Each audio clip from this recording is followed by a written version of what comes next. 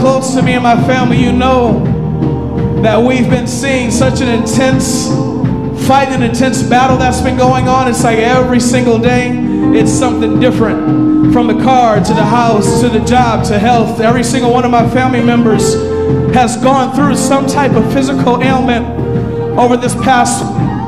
However, what we've seen during this past week, right at the very moment that something happens that the enemy tries to oppress us, we've seen an awesome God step in and bring deliverance, bring healing, and bring restoration and bring provision. Maybe you can't attest to that fact, but if anyone in this place this morning can say that God is a mighty God, I want you to open your mouth right now and declare what a mighty God we serve. Hallelujah. Come on, say, say what a mighty God we serve. What a mighty God we serve. What a mighty God we serve. What a mighty God we serve. What a mighty God we serve. What a mighty God we serve. What a mighty God we serve. What a mighty God we serve. What a mighty God we serve. What a mighty God we serve. What a mighty God we serve. What a mighty God we serve. What a mighty God we serve. What a mighty God we serve. What a mighty God we serve. What a mighty God we serve. yeah,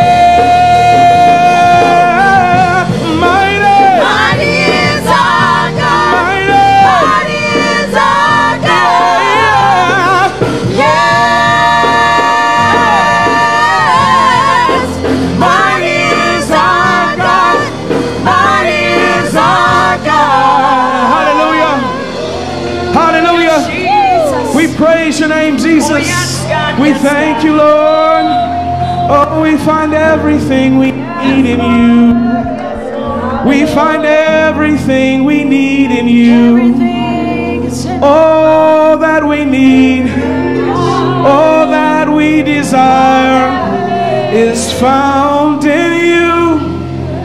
Is found in you. Come on, just open your mouth in this place right now. Come on. He's worthy of it. I don't care what you're going through right now. I don't care what's happening on the outside. Our God is worthy of praise. He's worthy of adoration. He's worthy of worship. He's worthy of love. We love you, Jesus. What's your name, God? For you are awesome, Lord. You are deliverer, God. You are provider, Lord. You are healer. You are magnificent, Lord. You are holy. You are righteous. You are master. You are savior. You are the very king of all creation. Hallelujah. We find all that we need in you, God. We find everything that we need inside of you. For you are El Shaddai. You are the God of more than enough. You are Jehovah Nisi. You are God our banner. You are Jehovah Jireh. You are God our peace. Hallelujah. God our provider. Jehovah Shalom.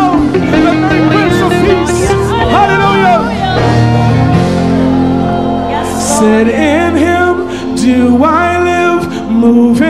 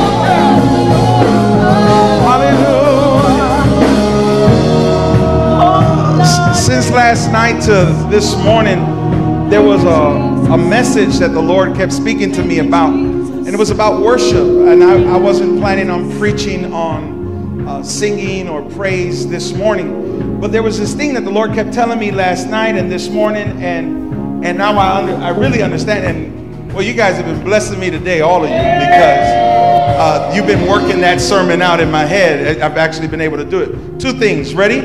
The first was uh, the fact that praise is a decision. Yes. You either decide to praise or you don't. Amen? Look at someone say it's your choice. Choice. Now, now, now, God, God wants the praise from us. As a matter of fact, in Scripture, He commands it from His people. Come on, amen, somebody. But ultimately, it's your choice. Praise, praise also is always expressive. Look at someone say it's expressed. That you can't meditate on praise. That's right. That's not praise. That's right. Praise infers that you're expressing it somehow. Uh, so clapping, singing, spinning, dancing, shouting, lifting up hands, something that you're doing is giving praise. Here's the second thing. Together with that, the Lord had me go to the scripture where the priests are serving at the altar. Someone say serving at the altar. I've said this to you before that the word serving is the word liturgia there, where we get the word in English liturgy. It's work. Someone say it's work. Liturgy in our in our Western world, we use it to talk about worship. Every church has a liturgy, worship. But but it's work in the Bible. Oh boy. I said worship is what? Work. It's work based. You got to work. So the, the altar work that they did, that was all liturgy to them. That, that, that was worship to the Lord. This morning, this morning I was thinking just on my drive in, I wonder how many people are going to come with a work ethic for praise. Come on, amen, somebody? So look at somebody and tell them it's your choice. You can put in the work. It's your choice. But God is worthy of it. How many say amen? He really is worthy of it. So if, if you if you decide to do it with us, just I want him to sing it just two or three more times. Just throw your hands up and and even while we're saying he breathed in me and lived through me, Yes. I mean uh, it's amazing because it is it is all God working through us. Somebody say amen. So even as you're working, you're breathing in the presence of the Lord. Somebody say amen. Come on, just sing that one. Just a couple more times. Throw your hands up. Put the work in. Come on, somebody. Yeah. Your glory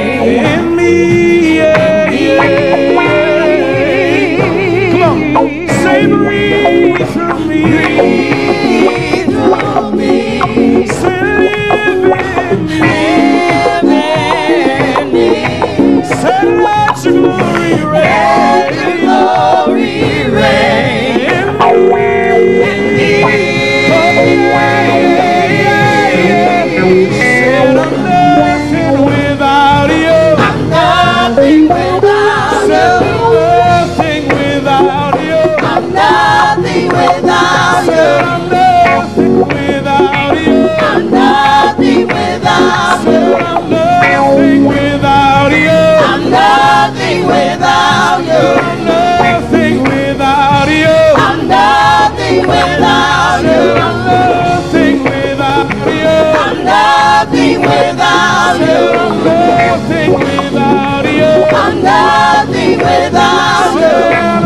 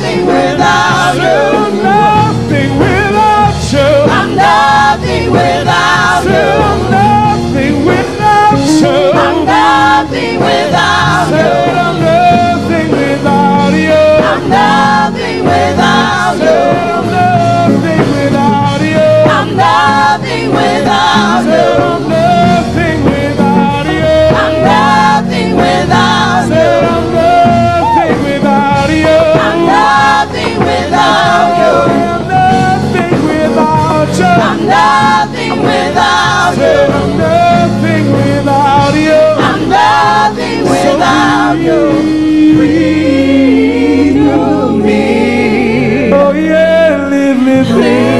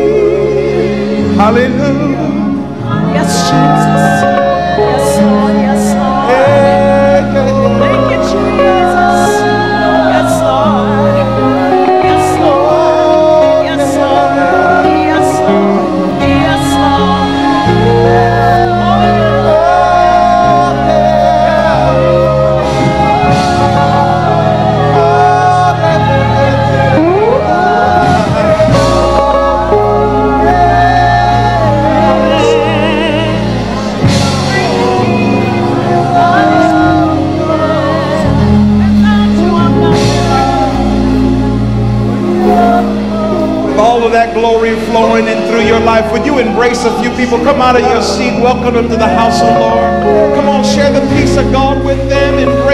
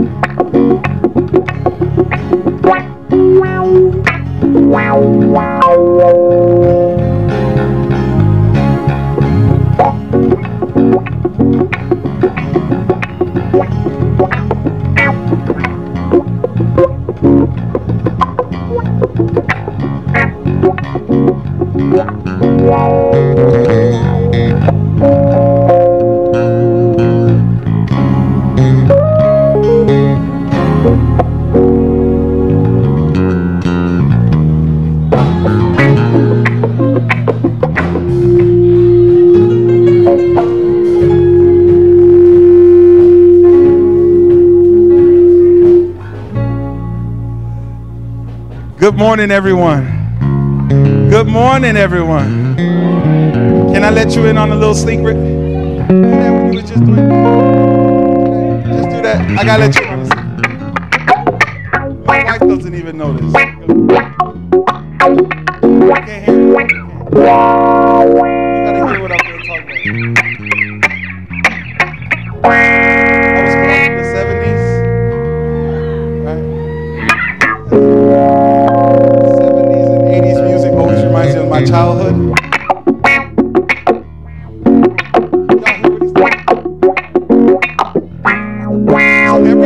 every time, I hear that, even though I'm in church, I think of Shaft in worship.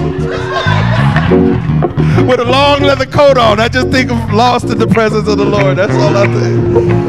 Woo. All right, that's all I had to say. Amen. Good morning, CIC. Come on, if you love Jesus, clap your hands for him. Hallelujah. what you? Say. Shut your mouth.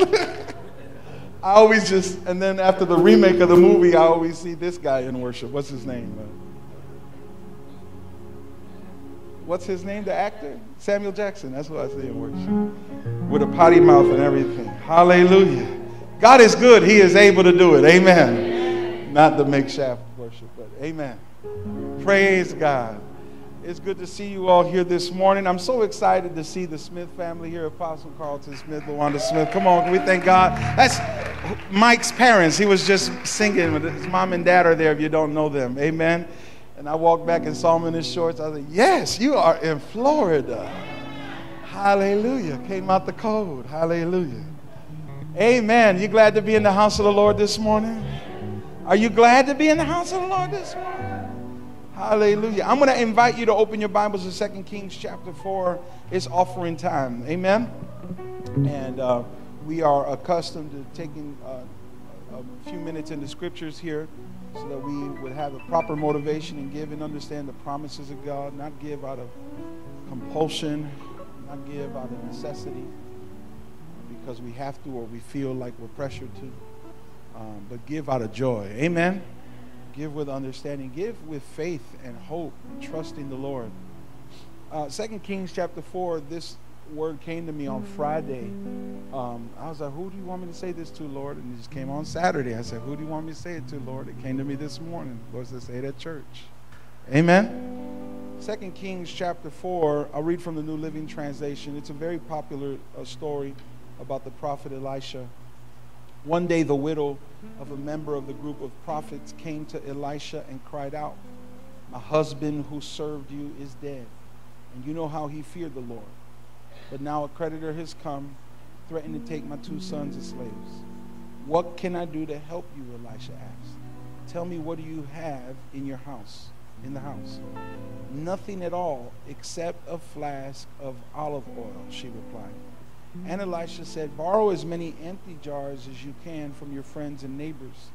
Then go into your house with your sons and shut the door behind you. Pour olive oil from your flask into the jars, setting each one aside when it is filled. So she did as she was told. Say it with me. She did as she was told. That's really all you have to do to, to find miracles happening in your life. Amen, someone. Just do as you're told. Her sons kept bringing jars to her, and she filled one after another. Soon, every container was full to the brim. Bring me another jar, she said to one, her, one of her sons. There aren't any more, he told her. And then the olive oil stopped flowing. When she told the man of God what had happened, he said to her, Now sell the olive oil and pay your debts, and you and your sons can live on whatever is left over. How many believe God is able to do exceedingly abundantly above all we can ask or think? Come on, amen, somebody. He's just able to do it. I want to just share this. Uh, I don't want to exegete anything. You, you heard the story. It's really simple. She has a need. The prophet tells her what to do. She obeys. God supplies. That's the point. Amen, somebody. Uh, also, she got leftovers. Amen. That is when the Lord blesses you, use it for what it was intended for. Come on, amen. Raise your hand if you ever used it for something else and we're like, oh, I should obey God. Yeah, it happens too. She used it, she paid her debts, lived off the rest of it. Um, I was thinking about this, and I'm, I'm not going to be long, just, just another two minutes. I was thinking about this um, the other day. This is what came to my mind with the scripture. And it was uh, when the Lord spoke to my wife and I and told us to leave Cleveland and move to Florida. I said, All right, Lord, well, we'll do that. And in my mind, I had a, a nine month plan in place. Uh, a nine month plan. How many months? Nine month plan in place. I was here six weeks later. And what happened was that the Lord uh, just moved in such a way that he everything I was planning to do in nine months, he just bumped it up a little bit, right? Six weeks, and it wasn't a time of abundance for my wife and I. That's the part I want to get to. It was not the best economic time for us to make a decision to move. Uh, it takes a few thousand dollars to come from there to here. To pack up your house, pack up your children. Come on get the truck, move on down, the whole adjustment, get your utilities cut on, and do everything you have to do, and then and then it takes money. You need money to even get adjusted because you're not sure what's going to happen. How many understand that? But I, I said, well, Lord, it's gonna it's gonna take some money, and also I'm not going to leave and leave my bills unpaid in Ohio. I'm gonna have to zero everything out and then come because we're not gonna leave a trail behind us. Amen. And so I said, well, this is, do you remember the exact amount it was? It was a lot of money. What I know is this. Yeah, it was 8,000 that we needed just to make the move without taking care of everything else. And I said, well, Lord, what are we going to, I said, well, Lord, if you could just at least give me uh, eight to $10,000, I'll be all right. Now it's Christmas time.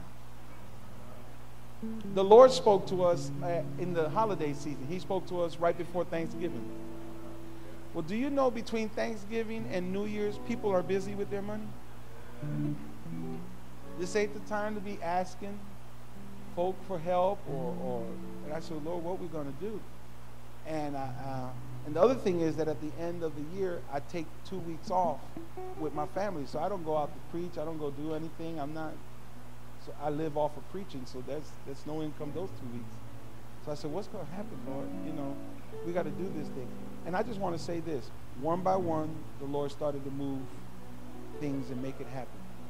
Can I tell you that not only did he give us the $8,000, one person cut me a check for 5000 all by themselves. I didn't ask him for money either. Come on, somebody say amen. Uh, when, when it all got through with it by by the first week here in Florida, $15,000 had come into my hands. Come on, say amen, somebody. Almost double the amount of what I had asked the Lord for. So, what ended up happening was we ended up buying furniture. I didn't even pray about the furniture. We had money to purchase furniture and to do some things. Here's my point to you when the Lord spoke to us, we obeyed. When the Lord spoke to us, we what? Obeyed. You obey and you start moving, and let's just watch God do what He's going to do. I can't get any simpler. It can't just, I can't be more elaborate than that. It's as simple as that. You obey, you do what God is saying to do, and you watch God do the rest. Somebody say amen. I also have testimonies where I didn't have the 15 grand, where I actually had 7,999. But woo, we made it. How many got those stories too? Somehow it didn't work out the way you wanted, but here you are today. I say, here you are today. Here you are today. Here you are today. That means the Lord brought you all the way this way. Somebody say amen. I don't know who this is for, but just everyone, would you lift your hands? I want to pray over, over, over you. I want to pray for you that your faith would come alive, that you would not shrink back, that you would believe God and obey Him and boldly step out and do the thing God is saying to do. I don't know who it's for, but Father, in Jesus' name, whoever you intended to hear this word, help them understand, God not to fear, not to look at the circumstances, not to look at what they don't have, but to simply say yes to you, God. And as they say yes to you, God, I pray, God, that you send a deluge of, of, of blessings into their life, God. That you fill every jar they can put out there, even so much, God, so that they can sell, pay off their debts, and have enough to live off of. Father, I pray in the name of Jesus for a divine intervention in the life of my brother and sister. I pray right now in Jesus' name for supernatural supply and for their faith.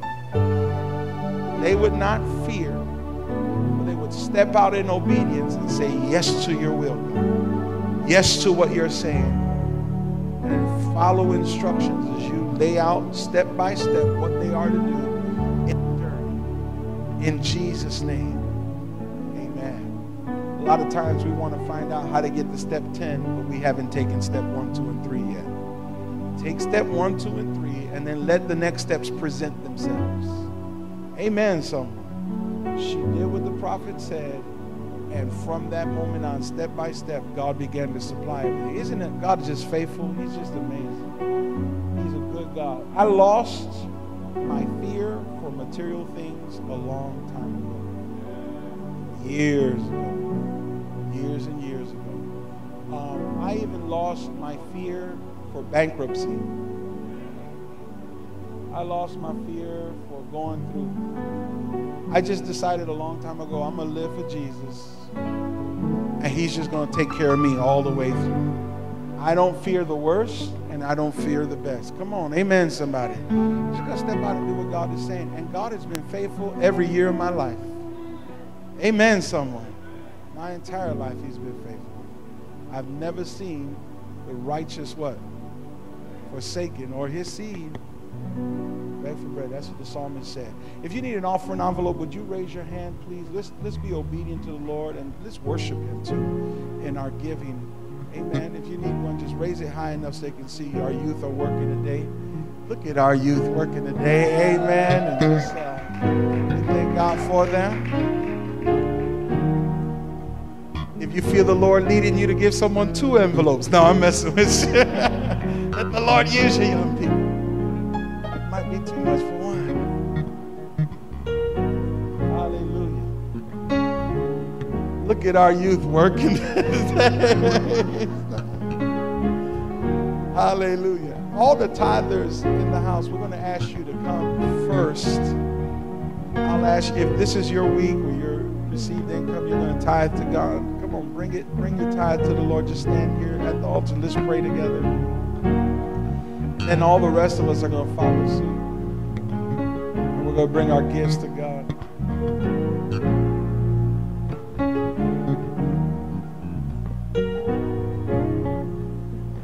Go always online to CICOrlando.org. You can give there.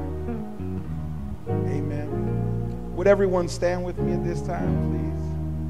Everyone standing. If you have gone through a financial tough week, you should be standing first. You in first and say, Yes, Lord, that's for me. I believe in miracles. Amen. Amen. Hallelujah. Would you lift your gifts to the Lord all over the building? Just lift your gift to the Lord. If you need to use your credit or debit card to give, after we pray, you can go right into the narthex there, and someone will be there to swipe your card if you want to do that. If you don't want to fill it out on the envelope. Father, we thank you. The baby's ready. Father, we thank